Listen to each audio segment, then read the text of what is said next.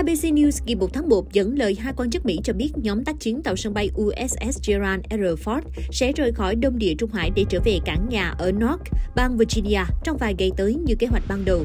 USS Gerald R. Ford, tàu sân bay mới nhất và lớn nhất của Hải quân Mỹ, đã được điều động đến Đông Địa Trung Hải sau cuộc tấn công của Hamas vào lãnh thổ Israel ngày 7 tháng 10 năm 2023. Theo Bộ Quốc phòng Mỹ Lloyd Austin, nhóm tàu USS Gerald R. Ford có sứ mệnh ngăn ngừa Iran và lực lượng Hezbollah tại Liban mở rộng xung đột.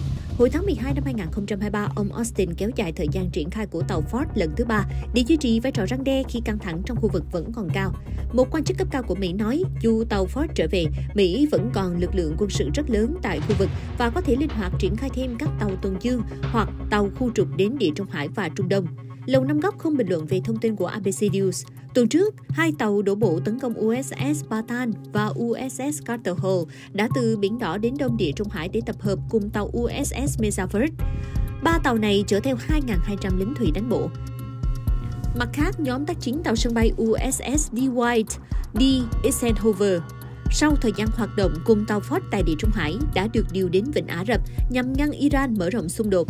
Tàu này đang hoạt động ở Vịnh Aden, phía đông Yemen.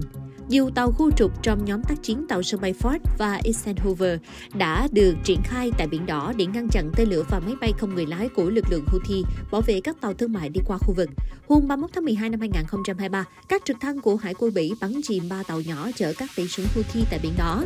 Các trực thăng cất cánh từ tàu sân bay Eisenhower và tàu khu trục USS Gravely đã bắn trả để tự vệ sau khi bị các tay súng Houthi bắn trước. Nhà Trắng cùng ngày nói không muốn xung đột mở rộng tại Trung Đông sau vụ việc này. Theo CNN, trước đó Mỹ đã tránh tấn công trực tiếp các nhóm tại Yemen để không làm leo thang căng thẳng. Mỹ không muốn một cuộc xung đột rộng hơn tại khu vực và Mỹ không muốn một cuộc xung đột với Houthi. Kết cục tốt nhất là Houthi ngừng những cuộc tấn công này như chúng tôi đã nói rõ hết lần này đến lần khác.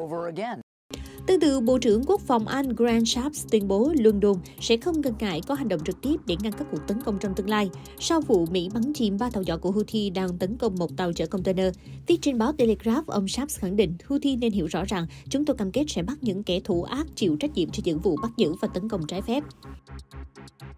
Hãy bấm đăng ký kênh Điểm Nóng Toàn cầu và nhấn nút chuông để dòng thời sự thế giới luôn sôi động trên màn hình của bạn.